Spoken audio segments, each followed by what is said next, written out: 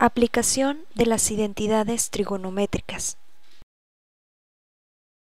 Determina el coseno de la diferencia de los ángulos a menos b si tangente de a es igual a 3 cuartos y a está entre 0 y pi medios. El coseno de b es igual a menos 12 sobre 13 y b está entre pi medios y pi. Recuerda que el coseno de una diferencia de ángulos es igual al coseno de A por el coseno de B más el seno de A por el seno de B. Pero como no conocemos los valores del coseno de A, seno de A y seno de B, buscamos sus valores de la siguiente manera. Tenemos que A está entre 0 y pi medios, esto es entre 0 y 90 grados. Entonces A se define en el primer cuadrante y la función tangente es positiva. Como la tangente de A es igual a 3 cuartos, de aquí obtenemos que el cateto opuesto es igual a 3 y el cateto adyacente es igual a 4. Luego, por medio del teorema de Pitágoras, encontramos la hipotenusa. La hipotenusa será igual a la raíz cuadrada de 3 al cuadrado más 4 al cuadrado. Elevamos al cuadrado y obtenemos la raíz cuadrada de 9 más 16. Luego sumamos y obtenemos la raíz cuadrada de 25. Finalmente, al obtener la raíz cuadrada, tenemos que el valor de la hipotenusa es igual a 5. Luego, sabemos que el coseno de A es igual al cateto adyacente, el cual su valor es 4, sobre la hipotenusa, que su valor es 5. Entonces el coseno de A es igual a 4 quintos.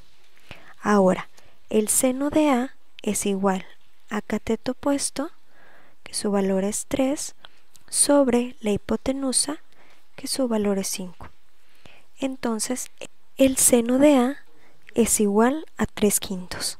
Ahora, tenemos que B está entre pi medios y pi, esto es entre 90 grados y 180 grados. Entonces b se define en el segundo cuadrante y la función coseno es negativa. Como el coseno de b es igual a menos 12 sobre 13, de aquí tenemos que el cateto adyacente es igual a menos 12 y la hipotenusa es igual a 3.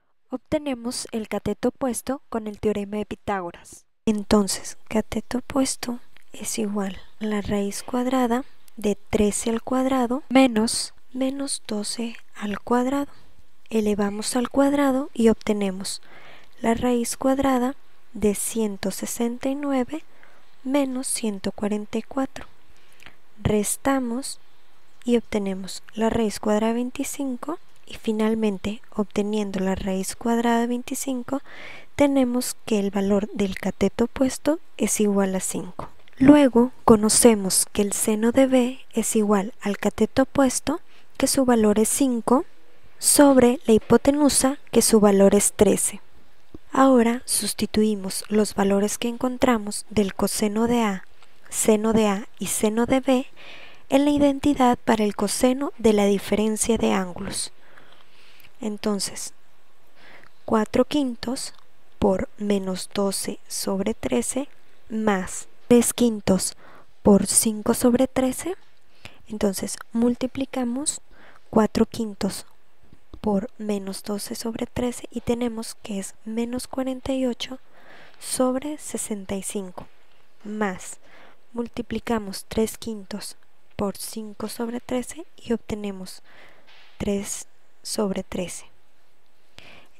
Por lo tanto, el coseno de A menos B va a ser igual a menos 33 sobre 65.